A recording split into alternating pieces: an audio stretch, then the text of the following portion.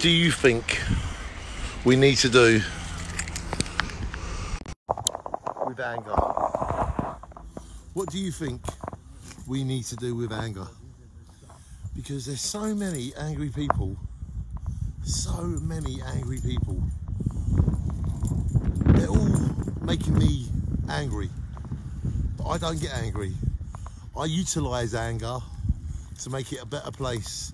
So when I start feeling angry, I go for a walk. When I start feeling angry, I start to turn all that anger into love. And I think, how can I use this energy to make the world a better place? So please do not allow anger and people with ment um, making you mentally, it drives me mental. It drives me mental.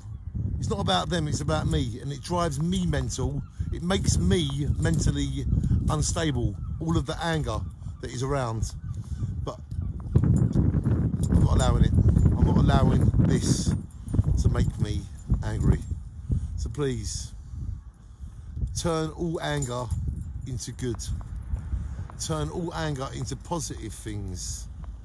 And then they will not have no fuel to continue their anger. And then you've utilized it. So ignore, block, and turn all of the anger into power. And with the power you now have, you can make everything happy and even. I love you all. And don't let angry people make you angry. Ignore them, block them, and keep doing what you do. No one knows your story more than you. So why should anybody tell you how to live when it's your story and not theirs? Turn anger into a positive.